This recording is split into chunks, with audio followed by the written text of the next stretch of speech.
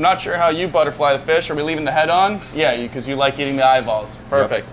I go right on top of the fin there, circle back around, break the ribs right through there, and then I come down like that to open it up. Repeat the process on the other side. Interesting. I do other way.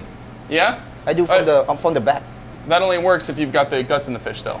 So we're gonna take our scissors, cut right there, cut right there, go right along, take that whole spine out. Now we can come back around and shave these rib bones out. We want it extra boneless.